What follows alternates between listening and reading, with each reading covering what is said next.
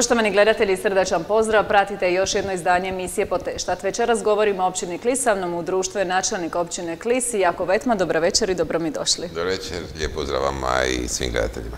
Na polovici smo 2022. godine. E, kad se osvrnemo malo unatrag, kakva je to 2022. godina za općinu Klisi? Je li napokon krenulo stanje na bolje nakon one dvije godine korone, nakon proračuna, što zapravo je svima malo onako s novcima bilo poteško poteškoća, nije se punio kako treba. Je li sad napokon sve u redu i možemo li kazati da je općina Klis stabilna općina? Ma je, mi smo stabilni, likvidni, solventni, sve ono što jedna općina treba biti. Imali smo dosta problema, pogotovo za vrijeme pandemije i tog nekog razdoblja kad smo provodili mnoge europske fondove, europske projekte na području cijele općine Klis. To je period nešto 2020. i cijele 2021. godine plus još bili lokalni izbori pa se to nekako sve razvuklo i tu je bilo određenih problema, međutim zajedno smo ih svi riješili, tu ne umanjujem uopće ulogu oporbe e, na području općine Klis jer svi smo zajedno znali u kojem smjeru idemo i evo sad smo došli u situaciju da zaista dobro stojimo i da se veselimo u budućem razdoblju, da smo sretni što imamo e, i dalje dosta fondova na raspolaganju i možemo upravljati kvalitetno naša jedinica lokalne samouprave. Brojni projekti su zapravo krenuli kako treba, krenuo i turizam u jednom najboljem smjeru. E, veliki broj posjetitelja je bio na Kliškoj tvrđavi i onda se dogodio jedan stop jedan veliki stop. Je li se vraća taj broj turista polako u općinu? Je, zadnji put kad sam gledao, čini mi se da smo sad na neki 80% otprilike e, iz 2019. godine. Sad što će nas čekati ovo ljeto, ne znam. Mi smo dosta bili oprezni prilikom planiranja proračuna za ovu godinu nismo planirali te prihode u onom nekom velikom ovaj, obimu, ali nadam se da će ova turistička sezona, ne samo zbog tvrđave kao takve, ne samo zbog javnog prihoda, već zbog naših ljudi koji iznamljuju svoje kuće za odmor na području općine Klisa, već ih je jako puno. Nadam se da će biti dobra i evo sve informacije koje ja imam, dakle puni su oni već od petog mjeseca. E, radi se zapravo jako dobrom obliku turizma, kuće za odmor na osami koje nude mir u blizini Splita i mislim da je taj jedan smjer turistički i općine Klis dobar. Ali na nama je da razvijamo i druge gospodarske djelatnosti, da se ne oslanjamo samo na to, jer nam je pandemija upravo to rekla. Dakle, oslanjanje na turizam i isključivo na turizam neće biti dobro ukoliko nemamo druge stvari. Dobro, ali koliko se Klis promijenio u posljednjih deset godina u turističkom smislu? Koliko se broj kapaciteta e, smještaja promijenio u tom posljednjem razdoblju? Pa jako puno. Jako puno. Mm, jedan dio je naša zasluga, drugi dio je zasluga svih onih privatnih inicijativa koje su išle u tom smjeru. Mi smo se recimo oko tvrđave dosta dosta ovaj, Tvrđava je zapravo konstantno u fokusu. Je, baš sam nedavno sreo jednog vijećnika koji je bio tad 2013. vijećnik i onda on govori kao ja tebe uopće nisam tad razumio što si ti ti reći. Kao, ali danas razumijem. Sad on, ali sad razumijem kad vidim koliko ovaj, je tu prihoda i koje stvari mi onda možemo financirati s obzirom na taj prihod.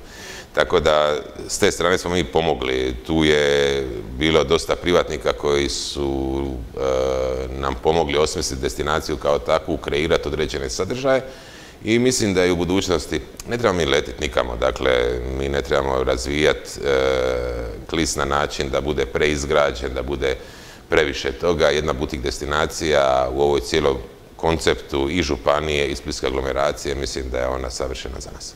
Kad spominjemo tvrđavu, posljednjih godina značajna sredstva su uložena u obnovu tvrđave. E, kolika e, sredstva su zapravo uložena u proteklom razdoblju? Je li sad napokon gotovo ili imamo još planova za dalje?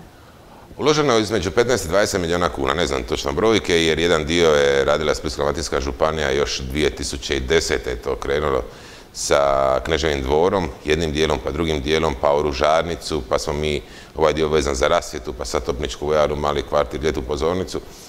E, dakle, to je, to je taj iznos, ali analize su rekle da je za cjelokupnu obnovu potrebno 190 milijuna kuna. Dakle, mi smo još uvijek, unatoč tome što to sad izgleda puno bolje, još uvijek na početku, još uvijek imamo jako puno posla i po pitanju marketinga i kreiranja nekih turističkih proizvoda, ali pogotovo po pitanju obnove, e, gdje nas još čeka jako puno stvari.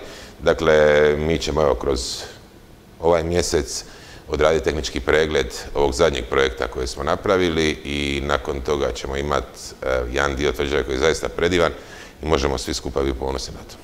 Ljetna pozornica, također jedan novi projekt.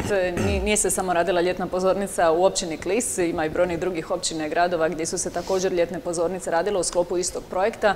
Koliko ste vi ponosni na vaš projekt i koliko je ta ljetna pozornica vama doista trebala na tvrđavi?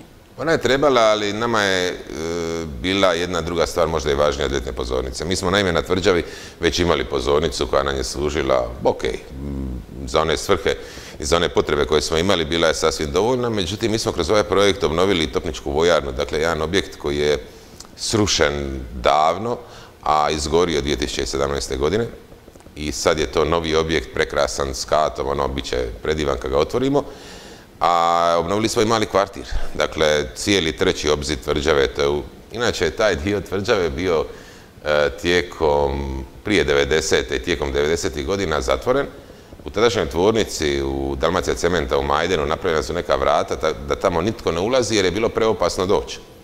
Danas je to toliko uređeno da svi mogu uživati u tom dijelu, tako da kroz taj projekt nije samo ljetna pozornica, nego i ove dvije stvari. Inače, u cjelokupnom proračunu tog projekta od 5,5 milijuna kuna ljetna pozornica oko 300 tisuća, tako da eto nije to ovaj, neki veliki iznos. Ali ovo ljeto će svi moći uživati u njoj, vidjeti kako zapravo pa hoće, ona je okrenuta prema Splitu.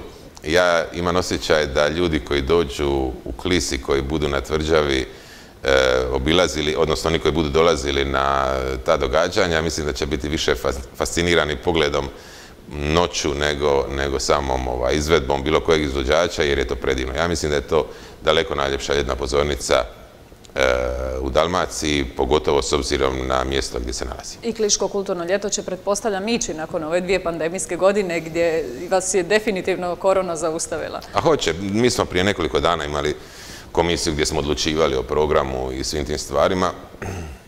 Bila je naša želja da na neki način napravimo Kliško kulturno ljeto po uzoru na mnoge gradove i općine oko nas, Međutim, onda smo vidjeli da se zaista svugdje svašta događa, imamo inflaciju tih događanja, a nama uvijek ta neka moralna dilema oko, oko kulture. Dakle, ja jesam, ja dolazim iz tog svijeta i svirao i svašta nešto, bio dijelom tih udruga na području Klisa, međutim, dati određena velika sredstva određenim izvođačima koji su u kontekstu ove inflacije prilično podigli cijene, a da nam neki ljudi na području naše Zagore još uvijek nemaju osnovne infrastrukturne uvjete, meni je to s ljudske strane loše. I zato smo se odlučili na jedan manji program e, i nekako smo stavili limite do kojih možemo izdvajati za taj dio i po pojedinom izvođaču i toga ćemo se držati.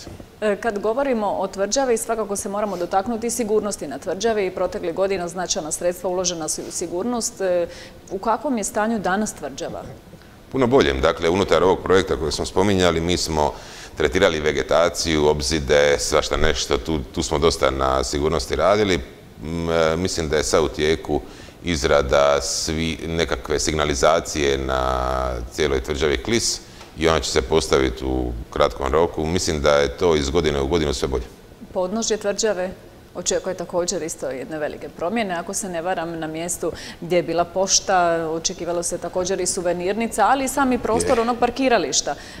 Kakvi su planovi za dalje? Dakle, to su sve bili planovi ono prije pandemije. Onda kad je došla pandemija, onda smo to sve zaustavili, jer smo jednostavno se našli e, u situaciji za nismo imali iskustva u tom dijelu, dakle svi smo bili nekako preplašeni, zaustavili smo se, smanjili komunalnu naknadu, smanjili plaće, smanjili sva davanja građana prema nama i naše uvjete rada smo ovaj, također e, prilagodili, vremenu i onda smo samim time i odustali od nekakvih investicija. Dakle, s Hrvatskom poštom je to dogovoreno, ali to je za sljedeću sezonu, za ovu neće biti. E, trenutno smo u rješavanju imovinsko-pravnog dijela, mi ćemo dakle kroz vrlo skoro vrijeme uknjižiti na općinu Klis jako velik dio centra Klisa i općenito mislim da se radi o 30 i nešto e, pozicija na području cijele općine koje će ići kroz jedan poseban zakon na uknjižbu i kad to napravimo onda možemo razmišljati o EU fondovima i sve ono što nas očekuje. E, putem ITU mehanizma urbane aglomeracije Split uređuje se dakle tvrđava, ali i igralište u Prugovu je na takav način uređeno. Pretpostavljam da ste izuzetno ponosni na taj projekt, ali da je stanovništvo i tekako zadovoljno na ovim igralištima. Je, dakle, meni je, zahvaljujući nogometnom klubu Prugovo i njihovoj inicijativi, Mi smo pokušali na jedan drugi natječaj dobiti ta sredstva, nismo uspjeli, onda smo preko ITU mehanizma, ovo što ste spomenuli, dobili. E, to je super projekt jer ta investicija u samom srcu Dalmatinske Zagore, ona vrijedi duplo. Dakle, e, znate, lako je, ne znam, u Splitu napraviti igralište, pa u kvartu ima, ne znam, par tisuća djece koji će se tu igrati ili par stotina djece, nebitno. Kad e, to radite u Dalmatinskoj Zagori, onda to ima puno veće značenje, jer evo, svi smo sretni da ne samo Prugovo, nego cijeli, taj dio Zagore, ne samo unutar općine Klis, već i van nje ima mogućnost korištenja takve jedne sportske infrastrukture. Nedavno smo ga otvorili, prošle su sad i kontrole SAFU-a, dakle sve to ide nekim svojim tijekom, nakon toga e, ćemo to i službeno dati na korištenje nogometnom klubu Prugovo i to je to. Ali i svoj djeci, pretpostavljam Prugovo, ne samo nogometašima. Ma naravno, to smo i predvidjeli u projektu, dakle ima tu i udruga koje skrbe o djeci s posebnim potrebama, ima tu svega nečega, ali to je, to je sve za njih. Dakle, to igralište će ostati i kad mi ne budemo na ovim pozicijama i kad se ne budemo bavili ovim poslom i mislim da smo sretni. Ono što je dobro za Prugo je ta jedna još investicija Hrvatskih cesta koja će tijekom ove godine krenuti, a to je rekonstrukcija ceste. Radi se o investiciji vrijednoj 19 milijuna kuna otprilike gdje će se cesta kroz prugu, a znam da to mnogi očekuju, ne samo ovaj, naši stanovnici, nego oni koji prolaze, da tu cestu napokon uredimo. Evo, hvala Hrvatskim cestama koji su nam toliko bile na raspolaganju. Hoće li evo barem ova dva projekta nekako i privući novo stanovništvo u Prugovo? Pa prema posljednjem popisu, dakle općina Klis je šesta u jednoj kategoriji, a treća u drugoj kategoriji među općinama u Republici Hrvatskoj po pitanju e, demografskih pokazatelja. Dakle, ne govorim o doseljavanju, ja govorim isključivo o demografskim pokazateljima a za Klis je to, ajde, nekako i normalno, ajmo tako reći, uvjetno rečeno. Međutim, za područje Dalmatinske Zagore to nije bilo desetljećima prisutno takav nekakav rezultat, ali za pojedina naselja, među kojima je Prugovo, je. Dakle, e, popis stanovništva je pokazao da Prugovo u odnosu na prije deset godina ima sad veći broj stanovnika, više djece, više svega. Mi smo nedavno imali još jedan natječaj za mlade obitelji, tako da ide ta priča dobro i mislim da će gore biti sve više ljudi. Vratit ćemo se i na mlade obitelji na taj natječaj. E, kad smo već spomenuli cestu kroz Prugovo, moramo se svakako dotaknuti i stare Kliške ceste. Ako se ne varam, 65 godina nakon izgradnje stare Kliške ceste, ozbiljno se radi na pripremi rekonstrukcije kolnika, izgradnji nogostupa, javne rasvjete, sve ono što zapravo ide s tom cestom. Mnogi prometuju upravo tom dionicu i nekako s nestrpljenjem iščekujemo tu rekonstrukciju. Kakvi su planovi i kad bi mogla krenuti?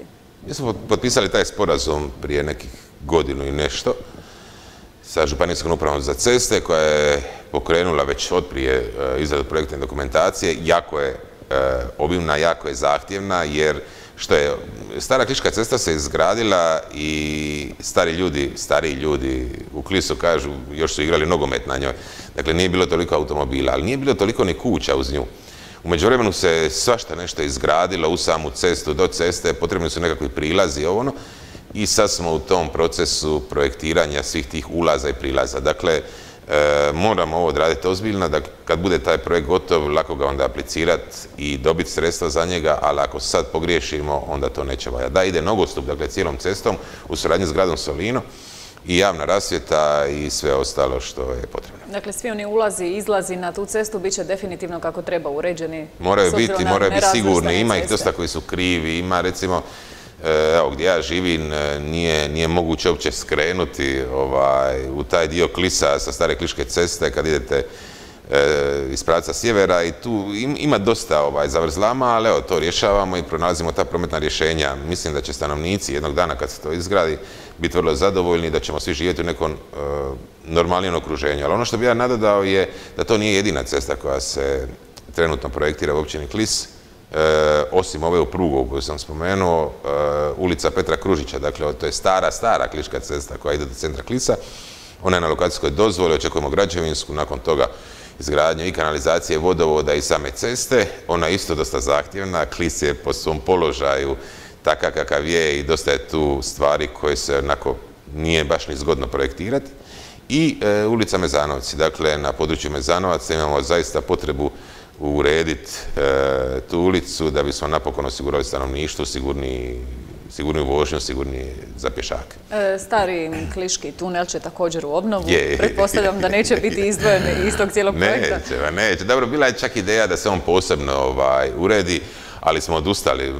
Mislim da je bolje malo sačekati pa onda dobi sredstva za to nego ići trošiti sva. Spomenula sam malo prije natječaj, dakle zemljište za mlade obitelji. Nakon provedenog javnog natječaja još dvije obitelji odlučile su se za život u Zagori. Ako se ne varam, do kraja godine trebali bi se raspisati još jedan natječaj. E, koliko zapravo obitelji je proteklih godina pronašlo mjesto boravka u općini Klisi i što je to što ih tamo toliko privlači? Je li to samo niska cijena trenutno zemljišta ili i neke druge stvari? Šest, sedam obitelji je ovaj, došlo na područje Prugova i mislim da je to super stvar. Dakle, to su, evo, baš sam jučer pročitao, mislim da je Labin ili neka istarska e, općina je na isti način počela mladim obiteljima osiguravati zemljište i mislim da je to odlična stvar. Dakle, širi se cijelom Hrvatskom ta priča. E, nije samo vrijednost zemljišta, odnosno mislim da je uvjetovano e, i cijenom nekretnina na području Splita i okolice. I s druge strane, E, dosta mladih ljudi, a govorim o ljudima između 30 i 40 godina, koji stvaraju svoju obitelj, koji su naponu snage što se tiče nekakvih životnih stvari, e, ne vidi tu udaljenost između, na primjer, Splita gdje rade ili funkcioniraju svakodnevno i prugova. Dakle, oni ne vide tu udaljenost kao što su gledali možda naši stari, koji su, kojima je tad Split bio nedostupan. Danas je to sve blizu, brza cesta Solin-Klis, Dakle, svi smo mi tu na 10-15 minuta, a opet imate svoj mir, imate mogućnost, pa i pandemija nam je to ovaj, dokazala, dakle da je uvijek dobro imati nekakav vrt, nešto oko svoje kuće i mnogi se odlučuju na to. nije to samo stvar ovo zemljišta, za mlade obitelji, mnoge obitelji nemaju te uvjete jer da biste se prijavili ne smijete imati nekretninu na svoje ime. E, mnogi od njih kupuju zemljište od privatnih osoba i sele se na područje općine Klisa. Za život, ne za turizam. Za život. duše ima jednih i drugih, pretpostavljam. Ima, ima, ima svih opcija. E, malo prije ste spomenuli, dakle, nije tako daleko zaputovati do Splita, međutim, oni koji prometuju e, autobusom zapravo ne bi trebali ostati uskraćeni, sve je to i dalje blizu. E, općina Klis je jedna od općina i gradova koji su potpisali prije nekoliko godina nove ugovore s prometom, dakle, značajnija sredstva su dana. Nekako je to sve bilo do trenutka dok se ne vidi kolika je zapravo stvarna potreba i koliko se doista prevozi vašeg stanovništva. E, je li napokon imamo taj podatak koliko se stanovništva prevozi, kolika je cijena toga doista troška i hoće li se ugovori mijenjati u neko skoro vrijeme? Prije svega čestitan e, upravi prometa na čelu s direktorom Mirom Delićem, Delićem na uvođenju tiketinga i ono što je cijelo vrijeme govorio zaista se ostvarilo. Dakle, e, tek sad kad je uveden tiketing i kad napravimo nekakvu analizu, onda ćemo vidjeti koji su stvarni troškovi općine Klis, ostalih općina i gradova koji su suvlasnici prometa. Ono što je bilo proteklih godina je činjenica da je općina Klis to su financirala znatno više nego što je trebala. Ok, tad je bilo to jedino rješenje, mi smo u nekakvoj komunikaciji s prometom izašli u susretu, najprije smo bili odbili, tražili smo druga rješenja, pa smo na, kraju ipak pristali i rekli u redu, ali da to bude uvjetovano nekim vremenskim rokom. Taj vremenski rok je sad gotov i uvjeren sam da će naši troškovi biti znatno, znatno manji nego što su trenutno, jer trenutno se obračunava taj kilometar, a svi živi autobusi prolaze kroz općinu Klis i jednostavno je nama tu prevelik trošak. Tako da s te strane smo zadovoljni. Nismo zadovoljni s činjenicom da e, treba odraditi nekakvu zakonski okvir ispoštovati e, po pitanju mreže linija na području cijele naše Splitsko-Dalmatinske županije i onda napraviti natječaje i dovesti javni prijevoz u puno prihvatljiviju zonu nego što je trenutno. Dakle, nedavno se raspravljalo o tome, s obzirom na povećanje cijene energenata, goriva, da bi cijena karata skočila. Ja mislim da to ne treba, mislim da smo se davno mi odlučili za tržišnu ekonomiju i mislim da nema uopće razloga da ne napravimo ono za što je svak zadužen. U ovom konkretnom slučaju Županija Splitsko-Dalmatinska je zadužena za organizaciju javnog prijevoza, definiranje mreže linija i raspisivanje natječaja. I to napokon treba krenuti. Ovo govorim ne samo u svoje ime, nego u ime svih kolega, jer znam da nas to sve očekuje da napokon moramo, aj još mi koji smo blizu Splita, to je ok. što je sa imotskim područjem, što je sa Vrlikom i tim udaljenim područjima, mislim da moramo tu jedan put zajedno, jedan sustav napraviti koji će svima biti na ponosu. Dobro, ali općina Klis je malo i specifična općina, dosta onako široka, ima dosta zaseoka, do svakog zaseoka do duše je teško i doći, a treba sve pokriti autobusnim linijama. Do duše vi očekujete značajna sredstva da ćete uštedjeti oko 700 tisuća kuna godišnje, u odnosu na to su značajna sredstva. Jesu, ali kad bi se definirala mreža linija i stavila na tržište, onda bi ta ušteda bila još veća. Dakle, e, ma nije stvar čak ni novaca. Jer ne možete na području Dalmatinske Zagore sve računati ekonomski. Ja sam svjestan toga. Mi smo godina, evo, dvije, tri godine mi plaćamo prometu milijun i pol do milijun i osamsto e, tisuća kuna za javni prijevoz. A prije toga smo plaćali 300 tisuća kuna godišnje. Ono je bilo premalo, ali sad je ovo previše. Dakle, dajmo, ajmo se staviti u svoje nekakve realne okvire i napraviti svoj posao. I općina Klis, i županija, i promet. Promet je i po pitanju novih autobusa zaista napravio revoluciju. Mislim da su sad autobusi u prosjeku 3-4 godine stari, tako da mislim da svi možemo biti zadovoljni. Ali dalje, i dalje je problem taj što mi još uvijek e, nizom aktivnosti e, kreiramo atmosferu u kojem je jednostavnije ići automobilom u Split nego javnim prijevozom. Mislim da bismo tu trebali nešto mijenjati, ali to je za neke prometne stručnjake teme. E, vratimo se mi zapravo na ove vruće teme s obzirom da je lipanj i tekako je zagrijalo, a naravno da znamo da je onda i povećana e, mogućnost požara, vatrogastvo je i tekako važan dio civilne zaštite. Vi ste posebno osjetljivi na vatrogasce u vašoj općini, a izgradnja vatrogasnog centra u Bučevici napreduje svakim danom. Uskoro kreću dakle radovi na vodoopskrbnom sustavu, ali ajmo se mi vratiti na vatrogasni e, centar u Bučevici. Što će on zapravo značiti za ovaj dio Dalmatinske Zagore? On će biti nekakav pokretač. Kao što je tvrđava bila u to vrijeme pokretač razvoja samog Klisa, tako će ovaj dio biti pokretač jednog dijela Zagore. Dakle, naša Zagora je jako velika i neće cijela osjetiti benefite tog centra. Međutim, on se nalazi uz e, sam autoput iz Vučevica, uz budući tunel kroz Kozjak.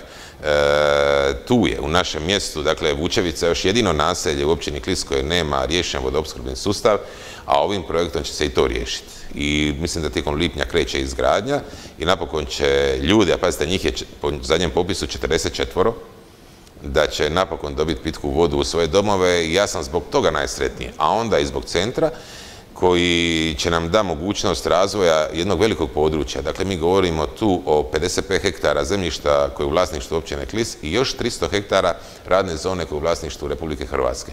Dakle, mi tu imamo mogućnost širenja na sve strane i ako odradimo kvalitetno izmjene prostornog plana koje mogu posebno, onda, onda će Vučevica biti budući mali centar Dalmatinske Zagore. Kad govorimo o vatrogascima na području općine Klist, koliko ste zadovoljni njihovom opremom, spremnosti za sezonu, je li sve spremno? To iz godine u godinu ide sve bolje. Evo, nedavno su oni imali izvješće na općinskom vijeću. E, to vam je uvijek ono koliko para, toliko muzike, nema tu puno filozofije. Dakle, E, oni su opremljeni i mislim da su spremni za ovu sezonu. Ono čime ja nisam zadovoljan i što me zaista mori je da e, Klis i cijela općina Klis nikad nisu izgledali lošije po pitanju održavanja privatnih parcela. I zato smo donijeli odluku o agrotehničkim mjerama gdje ćemo kažnjavati one koji svoje parcele ne održaju. Je li to dakle, već krenulo ili kad kreće? Je, priprema se baza podataka, sad se tu dosta ova, ljudi uključilo u taj dio. Mislim da je jednostavno vrijeme da kažemo ljudima uređujte svoje parcele vas čekaju kazne. I ja znam da su to i moji susjedi, rođaci, prijatelji, ali nam je to svima potrebno. Dakle, Klise, govorim sad o mjestu od 3,5 tisuće stanovnika, nikad nije bio gori.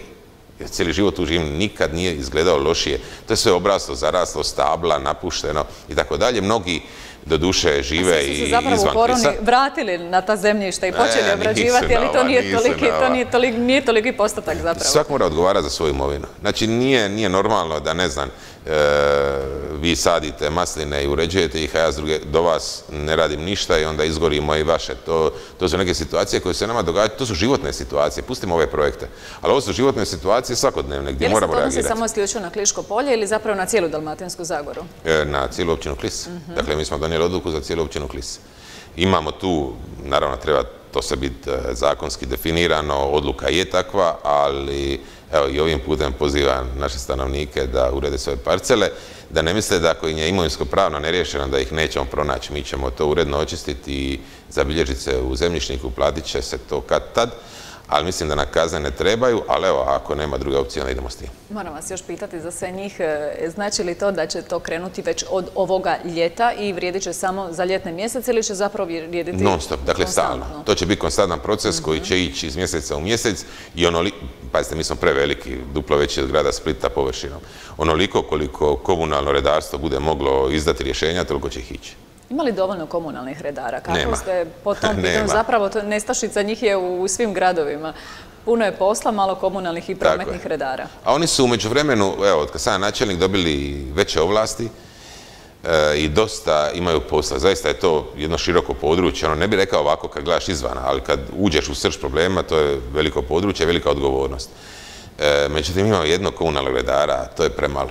Tako da evo u budućnosti razmišljamo da tu još pronađemo nekakav model ili da djelatnike recimo komunalnog poduzeća, ukoliko to zakon dozvoljava, osposobimo i za, taj dio, oni su stalno po terenu ko se čiste, tako da mislim da bi to bilo dobro. Koliko zapravo tu mogu pomoći kamere? Vi ste odlučili značajna sredstva uložiti u kamere, dakle preko milijun kuna u kamere za prometno i komunalno redarstvo, najviše koliko sam shvatila zbog ilegalnih deponija, e, ali je li svrha i neka druga? Pa ne, nećemo mi raditi Big Brother od općine Klis. Meni je i ovo, dakle ja sam zaista uvijek izbjegavao te kamere, nemojmo kamere, zašto ćemo to raditi. I uvijek mi bila neka tema, ono, nemojmo raditi Big Brother. Ali e, došlo je vrijeme da se pozabavimo time na ozbiljan način, jednostavno bez kamera ne ide. Ne možemo mi toliko imati obhodnje na toliko širokom, velikom području 24 sata dnevno.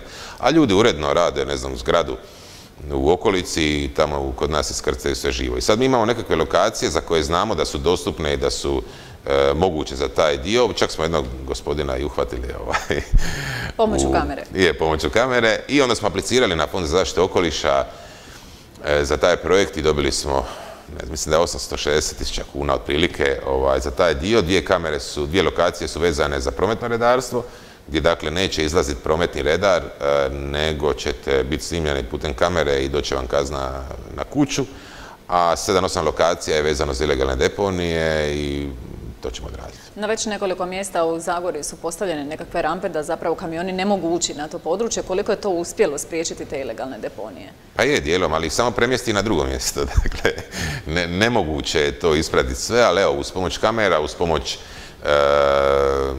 nekakvog nadzora našeg i svih tih ljudi koji rade za nas, vatrogasaca, ovih oni koji tu prolaze, mislim da možemo tu suzbiti taj dio i mislim da trebamo se svi time pozabaviti. Ja znam, mislim, znate, lijepo je ovako govoriti iz moje perspektive, mi ćemo sad to uređivati. Ja znam da nije zgodno ni građevinarima, ja njih tu uopće ne, ne otkrivljujem. nedavno je otvoren i zapravo jedan novi e, reciklažno dvorište, ako se ne varam, u Kaštelima, između Solina i Kaštela, gdje se može odložiti tako. Još uvijek je to premalo. Dakle, mi rješavanje otpada moramo puno brže, i mi kao općina Klis, rješavati i njima osigurati tu poziciju i onda neće biti problem. Ali jednostavno svak radi svoj posao. Moj posao je zaštititi i imovinu i standard života na području općine Klis i to kroz ovaj projekt činimo. Poštovani gledatelji, kratko ćemo predaknuti uz reklamni blok, ostanite i dalje uz emisiju Poteštat.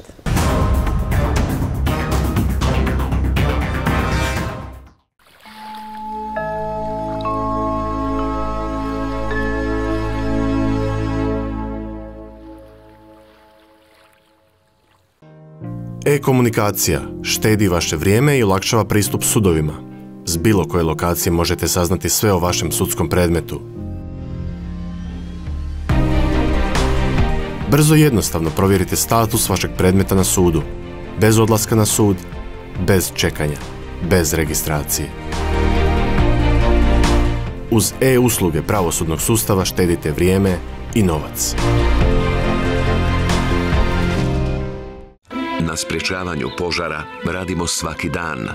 Pažnjom, planiranjem i budnim očima. Ali na kraju presudne su tvoje. Osvrni se i pomozi nam spasiti šumu. Hrvatske šume. Pevex te poziva u 26 prodajnih centara gdje možeš kupovati do 36 rata bez kamate i naknade. Iskoristi dodatne pogodnosti uz karticu Pevex kluba vjernosti. jer tako lako je uštedjeti. Pevex. Dugo sam tragao za tajnom formulom koja pretvara kamen u zlato, ali kada želim zlato pretvoriti u novac, tu nema tajne. Aurodomus najbolji je izbor za otkup zlata. Procjena je besplatna, a isplata u gotovini. Renomirani proizvođač medicinskih pomagala ima hit proizvod na našem tržištu, a to je zaštitna maska za lice. Maska ne propušta vodu. Može se u kontinuitetu nositi čak do šest mjeseci. Maska je posebno dizajnirana s bočnim rupicama za cirkulaciju zraka koje su zaštićene pregibima od vanjskih utjecaja. Svaku večer dovoljno ju je očistiti dezinfekcijskim sredstvom. Za potpunu zaštitu preporučujemo upotrebu zaštitne maske za lice uz korištenje DOTS dezinfekcijskog gela koji je prisutan na tržištu u više boja. Gel u sebi sadrži i važne vitamine A, D i E, a idealan je i za nanošenje i dezinfekciju ne samo ruku, već i područja oko nosa i usta. Vrhunska i nada sve udobna maska za lice Dr. Luigi dostupna je isključivo u ljekarnama. Dr. Luigi, vaš najbolji prijatelj obiteljskog zdravlja. Ključ ekspert, kralja Zvonimira 103. Najmodernija radnja specijalizirana za izradu ključeva za stan, sef, potom za automobile, motocikle, brodove, autobuse, kamione te specijalne i kodirane ključeve. Ključ ekspert, izrada ključa prema bravi, adaptacija brave prema ključu, prodaja brava, kvaka, lokota, sustava master, više brava na isti ključ. Ključ ekspert. Pozdrav svima, ja sam Marko, imam 80 godina i osjećam se vitalno. Sportski sam tip, svakodnevno sam u pokretu, volim prirodu i često putujem. I još uvijek uživam radeći, ponekad se i opustim, a zadovoljstvo mi je biti i s unukom Klarom. Živim aktivno i zadovoljno, zahvaljujući Geladrinku. Geladrink Fast i Geladrink Forte prirodni su i potpuno sigurni dodaci prehrani koji izravno ublažavaju bolove, upale i otekline u zglobovima, poboljšavaju pokretljivost i potiču samo obnavljanje hrskavice bez nuspojava. Naručite Geladrink proizvode još danas, sada uz popust, putem web trgovine bolesti-zglobova.com ili na telefon 091 3700 870.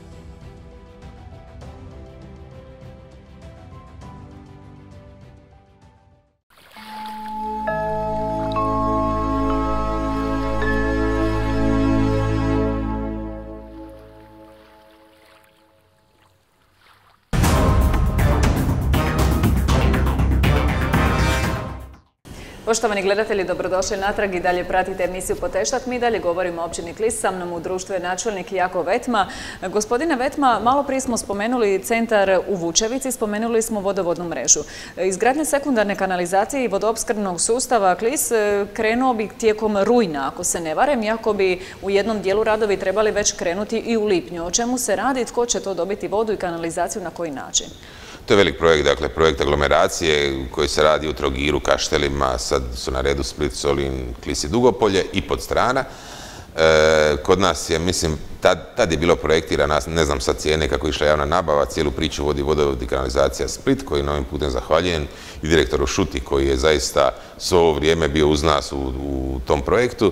E, dakle, cijeli Klis će dobiti e, kanalizaciju, a dijelovi Klisa, dakle, govorimo o predjelu Bašići na Kočijem brdu i u Majdenu jedan manji dio će dobiti vodopskrbu, plus ide rekonstrukcija e, vodovodnog sustava u Kliskosi i mislim pojačanje za centar, tako da mislim da kad završi ta priča da, će, ovaj, da ćemo imati zaista puno bolje komunalno opremljeno mjesto, plus što će nakon izgradnje kanalizacije sve naše ceste biti ponovno asfaltirane i mislim da ćemo biti ljepše i ugodnije mjesto za život. E, nedavno ste imali jedan sastanak upravo sa direktorom vodovoda i kanalizacije u općini Klista da se govorilo i o programu za četverogodišnje razdoblje. E, hoće li općina Klis biti uključena kroz cijele četiri godine Da, ma naravno. Dakle, ovo je jedan dio, a drugi dio je što nama treba. Dakle, ima tu puno još projekata koje moramo odraditi.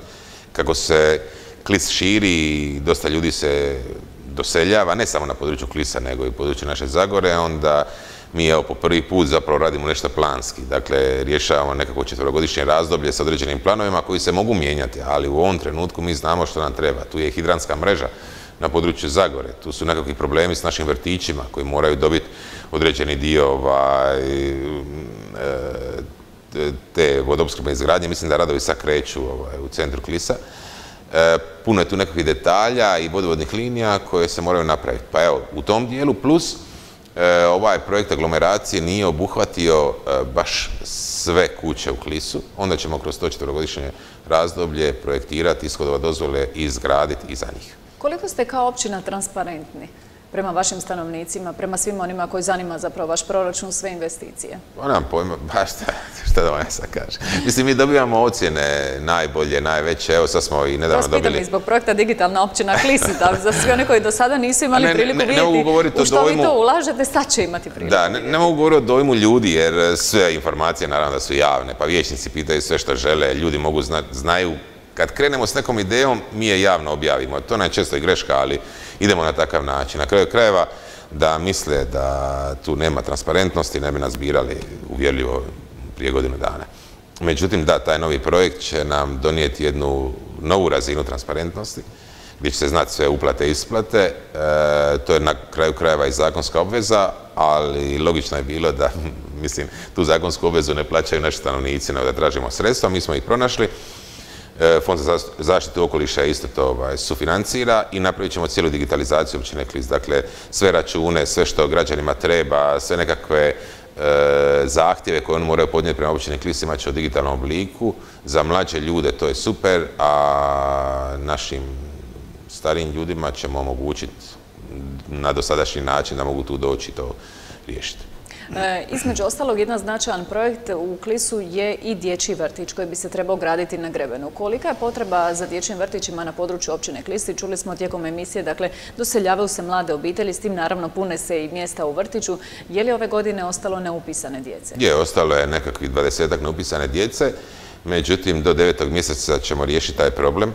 Dakle, Jesu li to jasličari ili baš... E, ima pola jasličara, pola je ovih starijih, e, ali ne bih išao još javno dok ne budemo imali sve ulazne podatke o samoj lokaciji gdje ćemo, proširit ćemo uglavnom te kapacitete i svi oni koji su koji imaju pravo, a dakle isključivo oni koji imaju pravo. Dakle, radi se o roditeljima koji su zaposleni i koji su oboje prijavljeni na području općine Klisi jer su prije znali manipulirati podacima.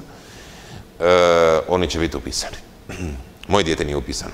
Dakle, ja isto živim tu i naravno da mi je cilj da svi imamo jedan dobar vrtić. Ono što u budućnosti e, želimo napraviti, a trenutno pripremamo dokumentaciju, apliciramo, je novi vrtić na području Grebena, gdje ćemo zadovoljiti sve te standarde i potrebe cijele općine Klis, ali ne samo to, nego će nam ostati ovaj stari vrtić u slučaju daljnjeg širenja i dolaska novih obitelji, onda ćemo imati zaista velik kapacitet.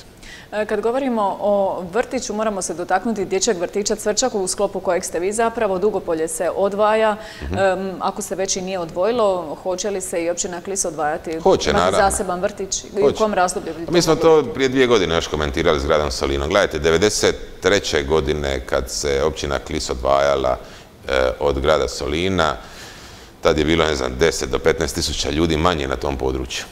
U međuvremenu se dogodila izgradnja, pogotovo Solina, a onda i Klisa i jednostavno došlo je puno više obitelji, imamo puno veće potrebe i svjestan sam toga da jednostavno moramo svaki ići svojim putem. E, dječji vrtić Svrčak je zaista bio nama odličan i radili smo godinama zajedno i rješavali probleme, ali evo vrijeme je da sakrene svojim putem. Mi ćemo napraviti svoj vrtić, imati ili svoju ustanovu ili ćemo imati privatne vrtiće, o tome još razmišljamo, radili smo nekakve analize, pa onda nismo još ovaj, sigurni u taj dio, ali želimo nekako svojim putem ići. E, nekako cijene nam rastu iz dana u dan, iz mjeseca u mjesec. Hoće li doći do povećanja cijene usluge u vrtićima?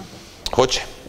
Hoće i to se ne bojim reći. Dakle, ta cijena je već 20 godina ista sve cijene su nekamo išle, ali, ali vrtička, cijena vrtića je ostala ista i mislim da je dosta veliko opterećenje za proračun svih gradova i općina. Nama još uvijek nije. Dakle, mi smo još uvijek u nekakvom normalnom iznosu, ali jednostavno nije normalno da bilo što košta 20 godina istu cijenu. E, mi moramo napraviti... analize koliko bi zapravo moglo poskupiti? Ma neće to biti puno, to je, ako ne bude, ne znam, 600 kuna, bit će 700 kuna mjesečno, to su mali iznosi. Ali u ukupnosti cijele usluge i svega što ćemo raditi, mislim da roditelji neće imati ništa protiv. Ono što, evo, po prvi put ću javno reći, ono što namjeravamo 9. mjeseca napraviti je ovo što je napravio grad Solin, dakle izjednači cijenu privatnih i javnih vrtića. I to ćemo učiniti do ovog perioda dok ne osnemo svoj. A kad osnemo svoj, onda ćemo vršiti upise svake godine, ali za svu djecu. Dakle, trenutno je situacija da upišete svoje dijete ove godine i onda ono ide pet godina u vrtić bez da ga iko pita jesu li tvoji roditelji uopće prijavljeni više tu. Ili oni rade, ili imaju li oni potrebe da, da je dijete u vrtiću. A mi to želimo mijenjati. Dakle, nemamo ništa protiv nikoga, ali želimo na jedan pošten, transparentan način i te upise i te troškove podnositi. Ja nema ništa protiv da ukoliko ta analiza i sve što budemo radili bude dobra, da mi smanjimo cijenu vrtića. I to je jedna opcija. Ali trenutno je pre rano o tome govoriti dok ne saberemo sve. Mjera roditelj odgajatelj je li dalje ostaje ili će se Ide dalje, ona, ona za razliku... Zagreba? A ne, grad Zagreb, e, mislim, mislim da je to katastrofa. Mislim da je to toliko ružno što su oni napravili.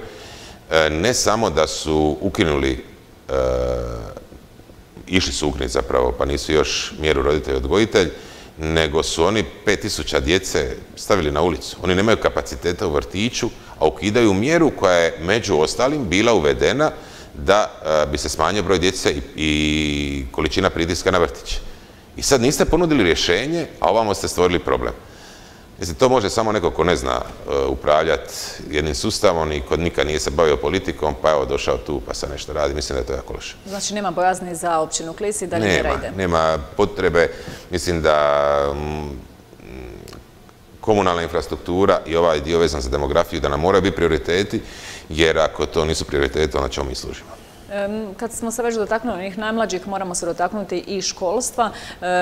Na području općine Klis djeluje jedna osnovna škola sa nizom područnih škola. Koliko zapravo općina Klis ulaže, iako nije osnivač, osnivač je Splitsko-Dalmatinska županija i kad možemo očekivati da će općina Klis, odnosno osnovna škola, dobiti školsku sportsku dvoranu?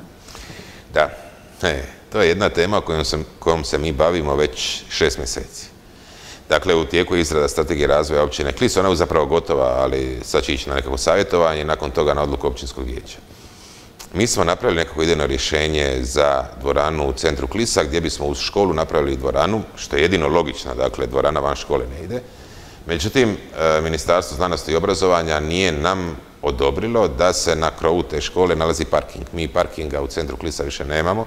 Zaista se škola nalazi na jednom tjesnom prostoru i parkinga okolo nema, dovesti tu dvoranu još, ne znam, stotinjak auta dnevno, mislim da je bilo samoubojstvo za, za centar Klisa. I onda smo počeli razmišljati što raditi. E, u sljedećoj strategiji razvoja, a i kroz prostorni plan koji ćemo napraviti, mi namjeravamo određene usluge izmjestiti iz centra Klisa. I među ostalim tu je i škola. E, to ćemo definirati prostornim planom, a u suradnji sa Splitsko-dalmatinskom županijom želimo taj projekt ostvariti do kraja. Kroz sljedeće operativno razdoblje imat ćemo dovoljno sredstava za financiranje i škole, i vrtića, i e, dvorane i mislim da je to jedina opcija, ali zaista jedina da Klisika dobije dvoranu. Zaista se škola nalazi na takvom mjestu da oko nje dvorana ne može, ne može biti. Mm, što bi se radilo na mjestu sadašnje škole? Ne znam, to je... Jeste li o tome razmišljali, ne. niste još? Ne, e, kao što ste rekli, Županija Splitsko-Dalmatinska osnivač te škole, o tome ćemo morati s njima razgovarati. Kad govorimo o projektima, moramo se dotaknuti jednog značajnog i lijepog projekta. To je projekt za želi koji brine o nemoćnim, o starijim osobama. Pokazao se jako dobro. Kakva su vaša iskustva? Ma super, mi smo među prvima, mislim, i dobili onu prvi dio, pa išao ovaj drugi dio, pa je sad vlada u ovom nekakvom procijepu između jednog i drugog operativnog razdoblja e, osigurala nekakvih dvjestotinjak milijuna kuna za e, cijelu Republiku Hrvatsku. E, mi smo se prijavili, nadam se da ćemo proći, da ćemo dobiti sredstva za taj dio. To je super stvar, ali mislim to treba biti stalna usluga. Ne smije ovisiti o natječajima i uvjeren sam da će i vlada kroz svoje pregovore osigurati taj dio. Pogotovo je to za ruralna područja. Mislim, uz svo poštovanje prema ostalima, mi imamo situacije u kojima e, stari nemoćni ljudi su udaljeni od javnih usluga, kilometrima i jednostavno njima treba neko doći pomoć. I evo, u tom smislu zahvaljujem i svim ženama koje su bile dugotrajne zaposlene, pa smo i kroz taj projekt zaposlili na svemu onome što su do sada napravili, jer mi, ja, dakle, tijekom 3-4 godine tog projekta ni jedan jedini poziv bilo kojeg korisnika nisam imao da bi, da bi se potužio na bilo koju ženu.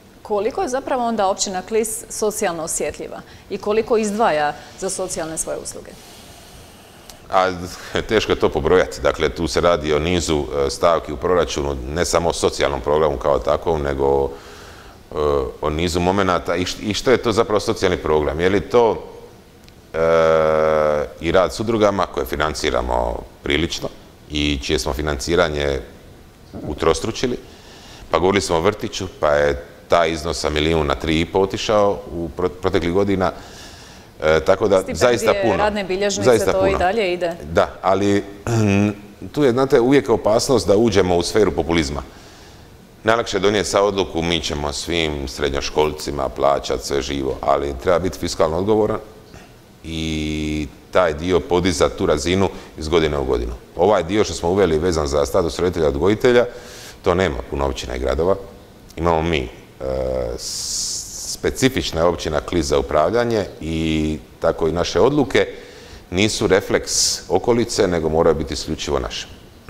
Kad pogledamo ovih šest mjeseci, završili ste u plusu, imate značajna sredstva na računu, kako ćete ih i gdje ćete ih utrošiti? Ma mi ćemo se najprije financijski konsolidirati, znači moramo jednostavno stati jer ne znamo kako nas vremena očekuju. E, nisam bilo jako teško kroz ovu pandemiju funkcionirati, ne želimo opet takvu situaciju, tako da ćemo malo usporiti i evo, kroz digitalizaciju te kamere, dakle mi sve što radimo tražimo sredstva iz drugih izvora financiranja i tako ćemo u budućnosti. A ovo će biti, dakle, za one stvari koje, koje se ne mogu financirati iz EU fondova. Evo, e, imate jedan primjer, dakle, mi smo napravili to igralište u Prugu, ono je prekrasno, predivno i ja sam stvarno sretan što smo ga napravili. Međutim, s druge strane imate ljude na području Zagore kojima je makadam do njihove kuće, koji nikad nisu vidjeli tu asfaltiranu ulicu. E sad, za igralište imamo sredstva, imamo fondove, za osnovnu infrastrukturu nemamo. Mislim da te stvari treba mijenjati. Ukoliko ne bude takvih natječaja, ta sredstva trošit ćemo na tu osnovnu komunalnu infrastrukturu. Kako teče uređenje groblja, ispraćaja, mjesta za ispraćaj? E, evo, u Brštanovu je dovršena ta projektna dokumentacija, mislim da će krajem godine krenuti izgradnja. E, pripremamo dakle za sva ta naselja, ovisi o aktivnosti mjesnog odbora, u, u Dugovama je gotova mrtvačnica pri kraju. E, u Klisu smo je napravili, trebamo širi groblja, imamo dosta zahtjeva, potreba, ali imamo deset groblja na našem području i evo, koliko stižemo, toliko ovaj, radimo. Bližimo se kraju emisije. Moram vas pitati još vezano za e, lokalne izbore, odnosno izbore u gradu Splitu, izvaredne izbore. E, vi ste imali nekoliko situacija u općini Klis sa izvarednim izborima, mm. pa projekti nisu mogli ići baš zbog tih izvarednih izbora. Kad ste vi došli, onda se stabiliziralo. Ali prije toga je bilo značajno razdoblje u kojem se konstantno događalo da Klis nema stabilnu vlast. To se upravo evo, sad događa u gradu Splitu, bliže se izbori. Kakav je vaš stav po tom pitanju? Ja sam u jednom dijelu prolazio taj period u općini Klis kao savjetnik načelnika za kulturu i e, to je bilo najgore razdoblje. Dakle, nitko tu ne pobjeđuje i nema tu pobjednika, svi gube. I žao mi je što se to događa Splitu, jer o Splitu ovisimo svi mi. Dakle, Split je većinski vlasnik i vodovode, kanalizacije, i čistoće, i prometa. I jednostavno, e, svi smo navezani na tu splitsku priču. Ovo što se događa u Splitu je po meni strašno. Žao mi je što su se uopće dogodili izvanredni izbori. Dakle, ja sam na lokalnim izborima svim srcem podržavao prijatelja i kolegu Vicu Mihanovića. Ok, nije pobjedio. Pobjedio je Vica Puljak i u redu je. Ali izazivati ponovno izbore i dovesti grad u situaciju da godinu dana nećete moći ništa, ni pripremati e, projekte, ni raditi nešto ozbiljno, mislim da to nikome nije u interesu. Stoga mi je zaista žao što su se građani Splita našli u ovakvoj situaciji. E, Zorana Đogaša poznajem već odavno kroz suradnju sa sveučilištem u Splitu. Znam da se radi o umjerenom, dragom, normalnom čovjeku koji je isto tako i vrhunski intelektualac i stručnjak i mislim da on dobro rješenje, ne dobro, nego odlično rješenje za Split. Ali i za nas. Dakle, ja bih volio s njim surađivati u budućnosti po pitanju mnogih projekata. Nakon one sjednice vlade u Splitu očekivali smo i značajne pomake na području grada Splita. Nekako mi se čini da to sve ide puževim koracima, a s obzirom na stanje u Splitu i sa izborima, još i duže će taj put trajati do realizacije tih projekata. A ta ista sjednica vlade u Splitu je donijela nama ugovor e, za tvrđavu Klis, na primjer. I na tvrđavi se točno vidi što se događa i koliko je to nama donijelo prosperiteta. Žao mi je što Split to nije iskoristio i neke općine i gradove jesu, neki nisu, ali sve je to do, lokalne situacije. Mislim, volio bih da, da izbora nije bilo, ali već kad jesu tu, onda evo, nadam se da će Split doživjeti tu stabilnost, jer bez stabilnosti nema, dakle bez tih odluka. Mi smo evo nedavno imali sjednicu općinskog vijeća. E, bilo je 15 točaka, sve su bile jednoglasne, ali sve. Nisam ja nikoga kupio, nisam ja nikoga, ne znam što napravio, nego jednostavno smo razgovarali o svim temama, neke smo izmijenili na zahtjev oporbe, neke smo doradili, neke smo poboljšali i sve su prošle jednoglasno. Volio bi da, da se priča više o tim projektima i nekim planovima za sve nas, a da manje, ne znam, govorimo o tim nekim sitnim politikanskim temama, međutim, kad ne znate raditi, onda vam je e, to jedina mogućnost. Jako hvala vam lijepa na ovoj emisiji. Hvala vam Poštovani gledatelji, stigli smo do kraja još jednog izdanja emisije Poteštat. Budite s nama i za tjedan dana. Do tada srdačan pozdrav i laku noć.